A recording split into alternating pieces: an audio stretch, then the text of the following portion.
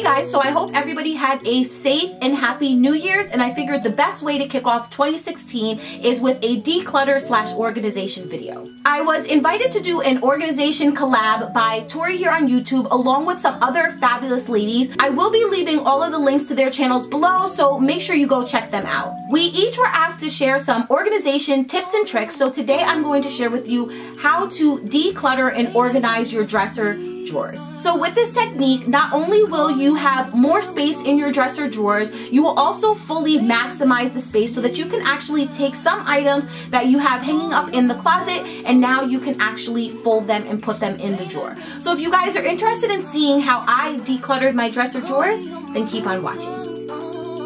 So to start out, you want to make sure that you literally take everything out of the drawers. You don't want to leave anything still stuck in them just because you want to just see what items you actually have and what items you can in fact throw away or give to the Goodwill.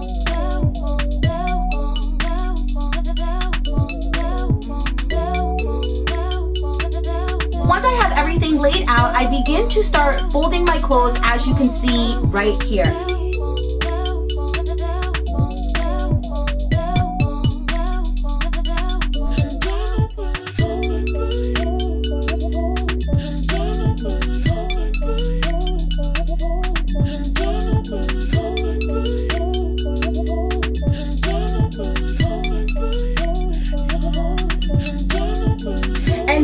Just to maximize the space a little bit more, I got these handy dandy organization bins from my local Ikea. I then insert my shirts vertically rather than laying everything horizontally and it really makes your life a lot easier because you can actually see every piece of clothing rather than having to lift up to see what type of shirts you have at the bottom of the drawer. And then you also want to do the same thing with your jeans and any type of bottoms that you have as well to just fully maximize your space.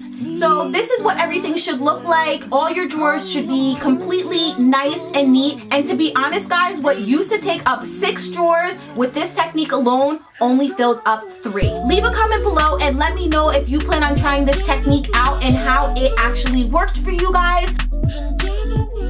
You guys so much for watching. Please remember to give this video a thumbs up if you would like to see more organization, declutter type of videos.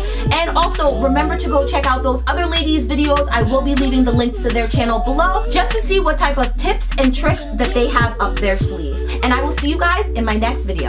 Bye.